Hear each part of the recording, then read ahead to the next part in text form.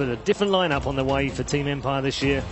And they've also had a reasonably good year, but so far have flattered to deceive. They did go out, of course, in the Group B stages and fell to the bottom half of the bracket thanks to a playoff. And, uh, of course, got into the top half and then lost yesterday. So they've made it the hard way round. We'll see whether they can continue through the international today because they are in the last chance saloon. Of course, these teams now playing in best of threes, and the loser disappears from the competition. So they are in the last time that they can have anything to do with the international. When they go further, they've got to win today. Their opponents today are MVP Phoenix, and they line up like this.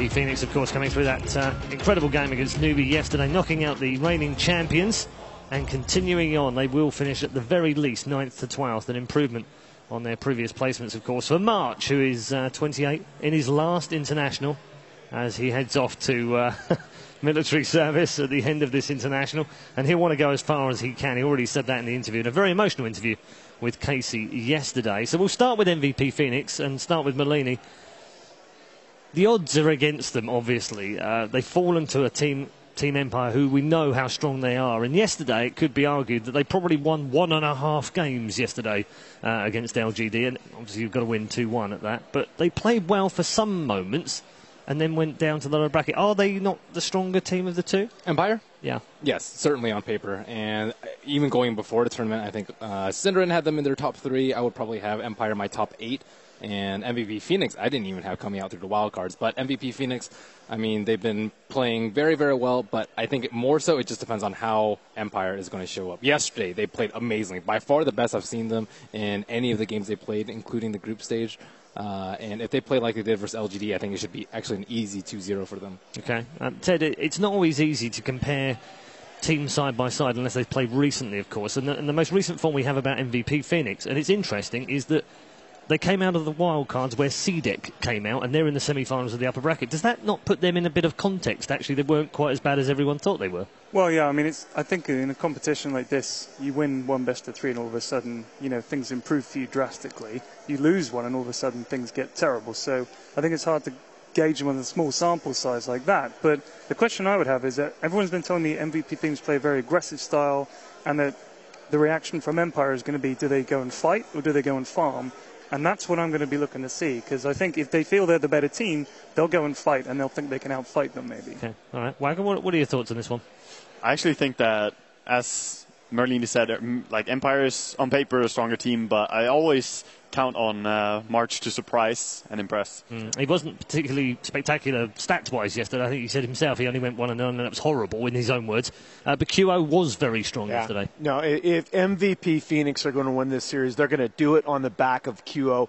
QO is 8.8 kills per 35 minutes in Dota 2 LAN games. That is by far the most of any player. The next highest is 7.6. He's 14.5k hero damage per 35 minutes. Next highest is under 13k. This kid is explosive, and if they have a hope of beating Empire, it is going to be behind his play. Okay, thank you very much, gentlemen. We are headed into the draft for the lower bracket knockout game for MVP Phoenix and Virtus Pro.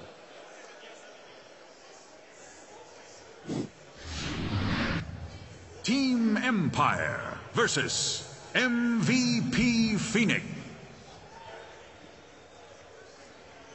Team Empire, of course. My bad. Okay. Silence. A complete silence. that, was, that was the death of my career say, right there. Uh, Alan, yeah. You make stats so exciting, dude. It's he does, amazing. doesn't he? I was on the edge of my seat. I was like, wow, numbers. That's amazing. Yeah, so here we go. MVP Phoenix versus Team Empire. Team Empire coming to this as the favourites to win, but we've already seen today that favourites, it doesn't really matter at the international. Yeah. There are no favourites anymore. I mean, take eHome taking down Secret 2-0, you'd have to probably give me like 1 to 20 odds on that, I would say. Like Really? One, one I to think 10. you'd have to give way higher odds than that. Uh, I mean, it's it's crazy that eHome actually upset that. I'm, I'm still like a little wow. It's just amazing how that happened. Ti is always so unpredictable and crazy. Let, let me be very clear. If you gave me one to twenty odds on any team in this tournament beating another, you, you I would bet any amount you want to name. 2-0. These are really two zero is tough, but these are really really good teams. Uh, I, I I think eHome was definitely a huge huge underdog, but I mean they outplayed him in that second game so thoroughly. Yeah, outplay and just, you know, they looked like a team. eHome definitely came together. Everything they did was, you know, well executed. The pickoffs, CTY did not just shine as an individual, but he also worked really well together with his teammates. And, and you know what that makes me think about? I want to go back to something that Purian brought up, and that's that, you know, Team Empire so far in this tournament have really only had one mode. They've gone at you and they've gone at you hard. And of course, that's kind of the CIS Dota stereotype. And that's a big question that I have going into this as well. MVP Phoenix play very well as five. They're going to take the fight to you early. Are Empire going to be able to sort of diversify their play a little bit? I think at some point in this series, they're going to need to play more than one style. Yeah, I think they will need to play more than one style, but they're also going to be happy to meet any type of aggression because LGD came out swinging as well in the second game against Empire.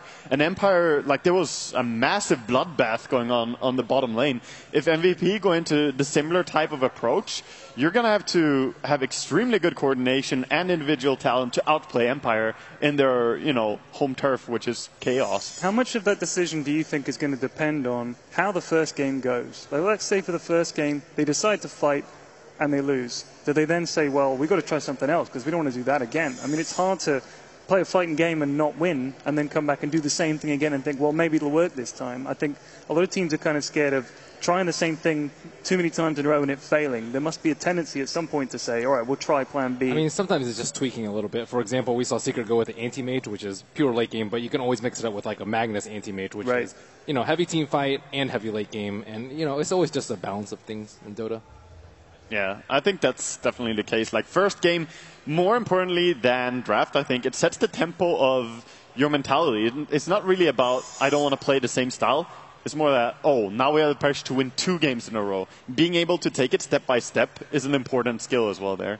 So uh, I think that's the biggest thing, just getting the momentum of your opponent. Yeah, I, I really think Empire are a better team when Resolution is on a hero with serious late game potential. Uh, they run a very, very strong Tiny Wisp. I mean, Silent is just is such a steady performer. I, to me, one of the more surprising things that we've seen is Silent made a couple major misplays yesterday in Game One against LGD. Oh yeah. Oh, I mean, Look at come this on. guy. How That's can you just- argue with that? Nuts is looking guy. so confident and happy today. Even when they walked out on stage, he's just he's just here to play. I think there's the happiness of being into the best of three, actually, just not dying in the first round, Oh, yeah. and of course knocking out NewBee was a great performance already. And I mean, I, I, I, I will admit it. I, I actually had to go and, and give these guys a hug in the suite afterward because you know, I got to know them a little bit in Columbus, and this is just a great team with a great attitude. Yeah, that can be said about both the Korean teams. They're really amazing players and mm-hmm. personalities. I don't think my tweet to the Korean government worked. I think No? March is still going to have to go and join the military. But maybe You gotta try. if they win this best of three, we'll try again. Yeah. The campaign lives on. Let's do it and Set get, March free. and get behind it this time because Yeah. there wasn't nearly enough retweets. Well, we need thousands, yeah, basically. millions. Millions. No problem. So in terms of bans for this game, you're looking to ban the heavy fighters. I think like if your first pick, you don't want to ban Bounty Hunter, but Empire did it anyways. Although I, I would have thought that would have been a really good first pick. Queen of Pain, Undying, and obviously Leshrac. Uh, Gyro, maybe you can slip through a little bit, but um, BH would be just a pleasure to get.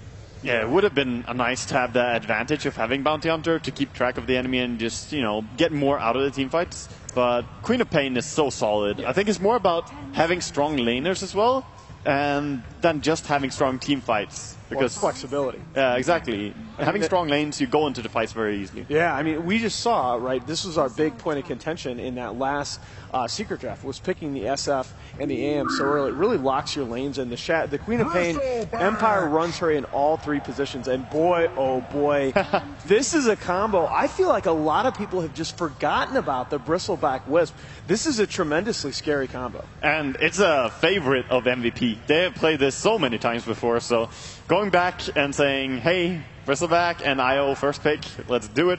It's pretty hard to counter. There are some heroes that are very good against Bristleback, and we have seen like Witch Doctor who's good against the Wisp and so on, but it is always scary going up against these two together. I think you need a support that deals with it, like Disruptor or Winter Wyvern or Naga Siren. I would probably say Shadow Demon too. Shadow, also. Shadow Team is decent, but you don't need to pick in the first There you phase. Any pick, anytime the- I see the Wisp. The, the Bristle IO, I've seen that picked a lot, especially if they think it's going to be a weak safe lane. Like if they run in a jungler or something, it's absolutely disgusting. There's no real way to stop it. Mm-hmm. But I mean, they're just throwing it out there. Like try and stop this. I mean, how bad is the Wyvern for that combo? Do you think that's going to just destroy it or not? It's bad when he gets levels. Like, Winter Wyvern can definitely do a lot when he has level 6, but really early on, it's tough to contest this. And the laning power of Wisp and Bristleback is definitely terrifying. They can go off lane or mid, like, they can do different lanes with it too. But they have the right heroes to just blow up the Wisp right now. Yeah. like, They do. Queen of Pain and Winter are perfect. Uh, overall, Winter Wyvern 24 and 11 head to head against IO in 6.84. Wow. It's just, it's really, it's one of the hard counters in the game right now. I hate Winter Wyvern. I'm just going to put that out there. not my jam. I'm glad, Ted, you're with me there. That's that's amazing. I think most core players hate Winter Wyvern as well. It's uh, it's a frustrating hero. I would like to see Timbersaw picked up a little bit more versus this. We saw Timbersaw picked up, but it wasn't the best game for it. Uh, I think Vici also picked it up once, but that was versus a Huskar. I think versus uh, IO Bristleback, it can just decimate these two. Definitely, it's a strong counter to that. Removing all the strength, and even Wisp being that annoying support, he is still strength hero. Some people forget that, thinking he's anything else. So uh, Timbersaw does deal tremendous damage with the Q against him. Other solutions that we've seen is like Axe to get him to face towards your team, LC uh, by the same token. On top of that, uh, yeah, just deal. If you deal with a Wisp, it becomes significantly easier. Right.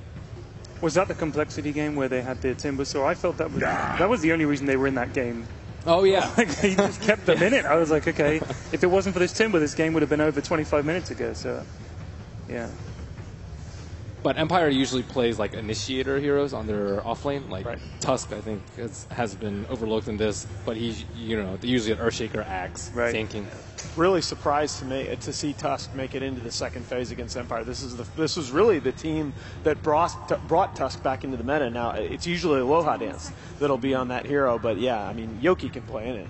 Yeah, Yoki can play anything, but as you said, it for them it actually suits a lot to have it on the support. Yoki, he likes having uh, the AOE initiators a little bit more than a crazy initiator like Tusk who just rolls in.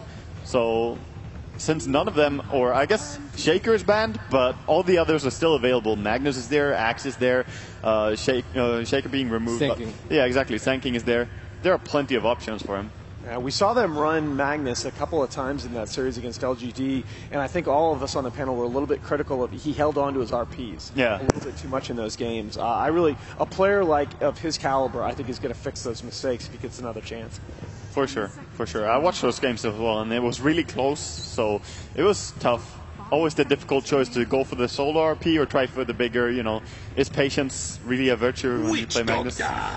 So we talked poorly about Lion, I think, in a lot of the scenarios uh, in the prior games. But Lion, I think, is a pretty good hero here. Good magic burst against Winter Wyvern. Good control versus Queen of Pain, and more importantly, good uh, setup if you want to relocate on a hero with the Hex. Very reliable. Yeah, it's it's a nice nice hero to get. I I'm starting to get worried for MVP in the same way. I think back to the C9 games where they got their Wisp. It felt like they got baited into the Wisp pick because there are so good counters now. Queen with the damage, Winter Wyvern who